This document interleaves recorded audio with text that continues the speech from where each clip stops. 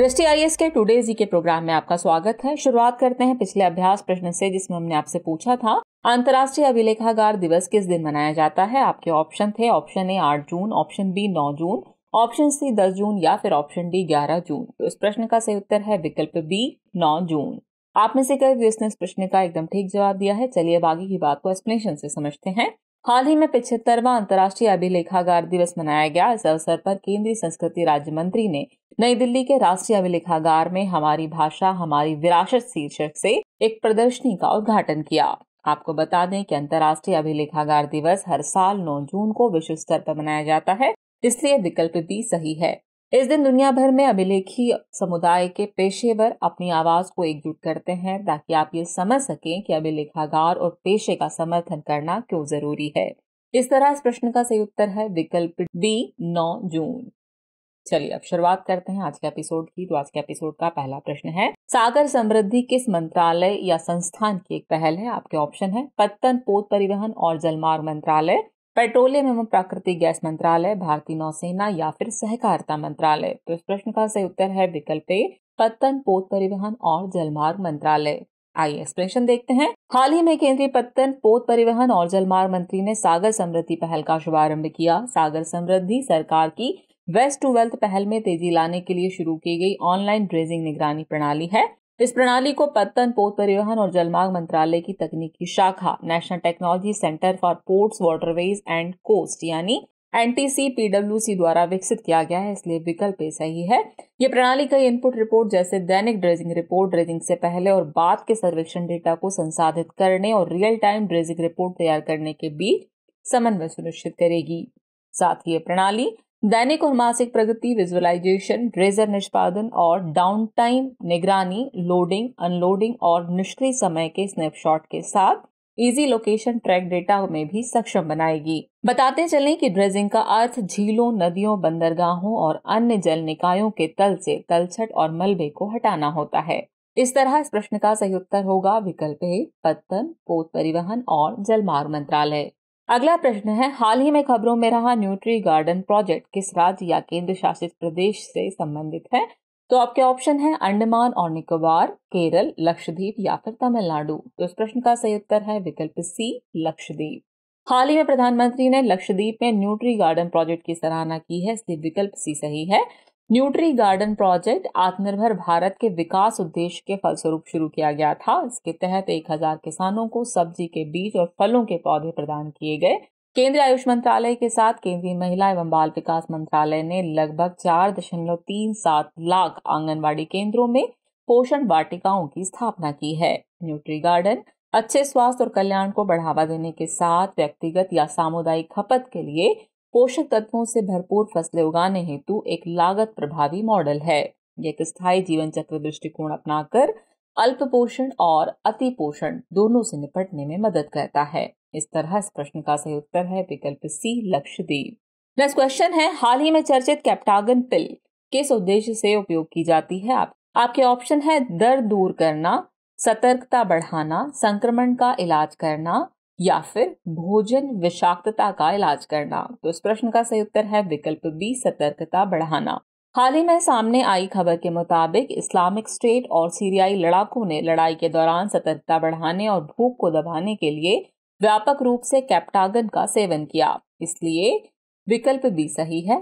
Captagon एक highly addictive एम्फेटेमीन प्रकार की दवा है। ये मुख्य रूप से सीरिया में उत्पादित होती है और पूरे पश्चिम एशिया में व्यापक रूप से इसकी तस्करी की जाती है। कैप्टागन को पहली बार 1961 में एम्फेटेमीन और मैथामफेटामाइन के विकल्प के रूप में निर्मित किया गया था, जिसका उपयोग उस समय नार्कोलेप्सी, थकान और व्यवहार संबंधी विकार के इलाज के लिए किया जाता था। एम्फेटेमिन प्रकार की दवाओं का ऐसा उपयोग हाल की घटना नहीं है बल्कि द्वितीय विश्व युद्ध के दौरान नाजी जर्मनी और मित्र देशों की सेना ने अपने सैनिकों को एम्फेटमिन दवा प्रदान की थी। इस तरह इस प्रश्न का सही उत्तर है, विकल्प बी, सतर्कता बढ़ाना। अगला प्रश्न है, गुलाबी बॉलवर्म प्रतिरोधी ट्रांसजेनिक कपास किसके द्वारा विकसित किया गया है? आपके ऑप्शन है, Bioseed research India, national institute for plant biotechnology, Bharatiya Krishi Anusandhan संस्थान या फिर राष्ट्रीय कृषि अनुसंधान अकादमी। तो इस प्रश्न का सही उत्तर है, विकल्प ए बायोसीड रिसर्च इंडिया चलिए एक्सप्लेनेशन देखते हैं। हाल ही में गुजरात, महाराष्ट्र और तेलंगाना ने एक नए प्रकार के ट्रांसजेनिक कपास बीज का परीक्षण करने के एक प्रस्ताव को खारिज कर दिया है। ये प्रस्ताव केंद्र की जेनेटिक इंजीनियरिंग मूल्यांकन समिति यानी जीईएसी द्वारा अनुमोदित था। इस बीज को हैदराबाद स्थित बायोसीड रिसर्च इंडिया द्वारा विकसित किया गया है। इसलिए विकल्प सही है। इसमें एक जीन ट्राई टू ए आई है। जो कपास को एक प्रमुख कीट, गुलाबी बॉलवर्म के लिए प्रतिरोधी बनाता है। यह बीज प्रारंभिक और सीमित परीक्षणों में पास हो चुका है, जिसके बाद जीईएसी द्वारा किसानों को खेत में परीक्षण करने की सिफारिश की गई थी। बताते चलें कि अभी तक ट्रांसजेनिक कपास एकमात्र जीएम फ़सल है, जिसे भारत में स्वीकृत किया गया है और वर्तमान में इसकी खेती की जा रही है। इस तरह इस प्रश्न का सही उत्तर है विकल्प ए यानी बायोसीड रिसर्च इंडिया अगला प्रश्न है, गुलाबी मीनाकारी के संबंध में निम्नलिखित कथनों पर विचार कीजिए। कथन एक है, यह वाराणसी में प्रचलित एक कला रूप है। कथन दो है, इसे अभी तक जीआई टैग नहीं दिया गया है और कथन तीन है, यह मिट्टी के बर्तनों पर ही किया जाता है। उपयुक्त में से कितने कथन सही हैं ये आपको बताना है। आपके ऑप्शन है, केवल एक, केवल दो, सभी तीन या फिर कोई भी नहीं। तो इस प्रश्न का सही उत्तर है, विकल्प ए, केवल एक कथन ही सही है। आइए एक्सप्लेनेशन साई की बात को समझते हैं। हाल ही में प्रधानमंत्री ने जी सेवन शिखर सम्मेलन में वैश्विक नेताओं को विशेष प्रकार के उपहार दिए हैं। इसी क्रम में अमेरिकी राष्ट्रपति जो बिडेन ने वाराणसी की जीआई टैग प्राप्त कलाकृति गुलाबी मीनाकारी प्राप्त की। बता दें कि गुलाबी मीनाकारी वाराणसी का एक अनूठा कला रूप है, इसलिए कथन एक सही है। इस कला रूप को 2015 में जीआई टैग दिया गया था, इसलिए कथन दो सही नहीं है। इस कला में कारीगर किसी धातु की सतह पर विभिन्न खनिज पदार्थों के टुकड़ों को जोड़कर उसे रंगते या सजाते हैं। इसलिए कथन तीन सही नहीं है। बताते चलें कि मीनाकारी फारस की कला है जिसमें धातुओं की सतह की विभिन्न रंगों से रंगाई की जाती है। यह कला सत्रहवीं सदी के आरंभ में मुगल काल के दौरान वाराणसी में फारसी तामचीनी बनाने वालों द्वारा लाई गई थी। इस प्रकार से केवल एक कथन ही सही है। यानी इस प्रश्न का सही उत्तर होगा विकल्प केवल ए। अगला प्रश्न है। हाल ही में समाचारों में देखा गया माउंट मेयोन ज्वालामुखी कहाँ स्थित है? आपके ऑप्शन है, Peru, Chile trench Indonesia, Italy या फिर फिलीपींस। तो इस प्रश्न का सही उत्तर है विकल्प डी, फिलीपींस। हाल ही में फिलीपींस के सबसे सक्रिय ज्वालामुखी मेयन ने लावा और सल्फ्यूरिक गैस उगलना शुरू कर दिया।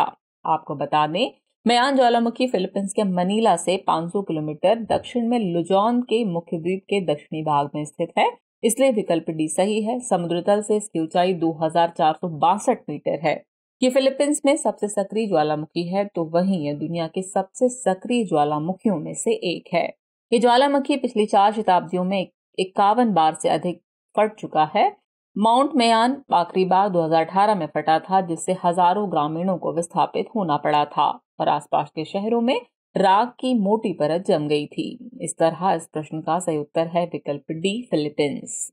नेक्स्ट क्वेश्चन है, रेस्पिरेटरी सिंकिटियल वायरस के संबंध में निम्नलिखित कथनों पर विचार कीजिए। कथन एक है, इसमें सर्दी जैसे लक्षण देखे जाते हैं।